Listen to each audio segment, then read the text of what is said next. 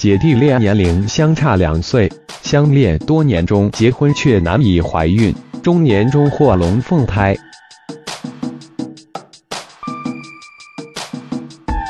现在社会中，很多女性怀孕变得越来越困难了，特别是对于在娱乐圈日夜打拼的女星来说，就是因为这种毫不顾忌身体的拼命工作。导致了身体上的内分泌出现紊乱，以至于怀孕变成了一件十分不易的事情。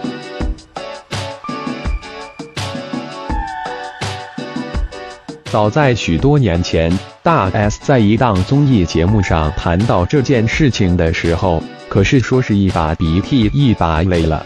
保持苗条的身材有利于继续在演艺圈良性发展，但其中却免不了要遭受数不尽的折磨。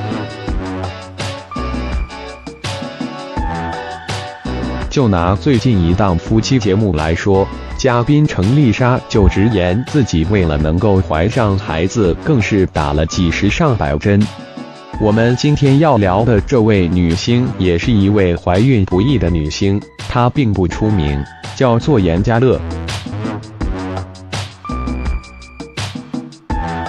可能你听都没有听过这位明星的名字，不过其实她还是有很多作品的。他是一位来自台湾的演员，比较让人熟知的就是《命中注定我爱你》跟《篮球火》等电视剧。这些电视剧都是在多年前曾经大火的剧，不过可惜的是，他只是在其中出演的配角，而且也并没有因此而火起来，所以在事业上的名气并不是很大。就生活感情而言，他有一位比自己小两岁的老公，叫做狄志杰。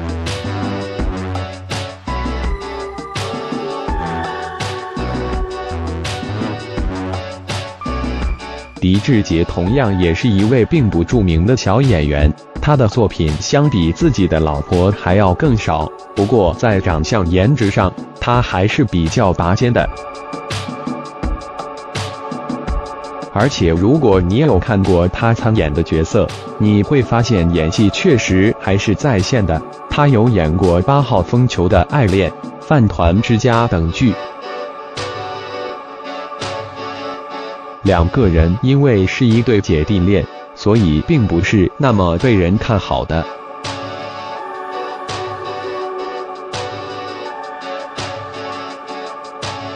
两个人跟一般的小情侣相同，生活中小吵小闹，分分合合。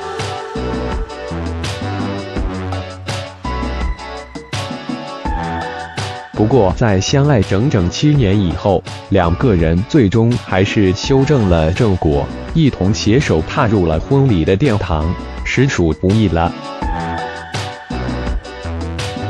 可是没想到的是，事情还仅仅只是个开始。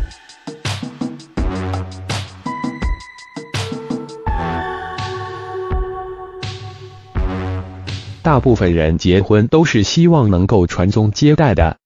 对于两位相恋多年的老夫老妻而言，就更希望能早日增加新的家庭分子，感受一下作为为人父母的快乐。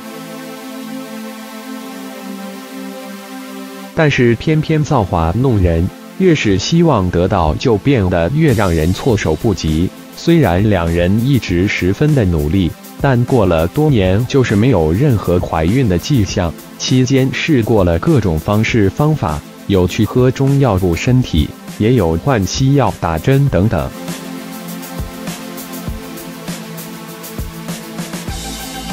但都没有成功。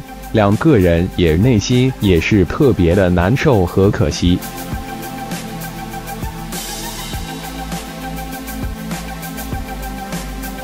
虽然一直没有身孕，但是严家乐并没有放弃自己。他仍旧常年保持住良好的作息，并且该怎么补还是怎么补，为的就是希望能够有一天发生奇迹。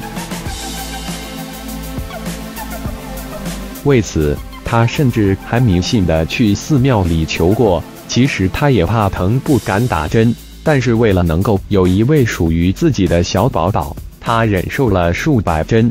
终于在中年四十多岁的时候如愿以偿的获得了两个宝宝，实在是难得不易呀。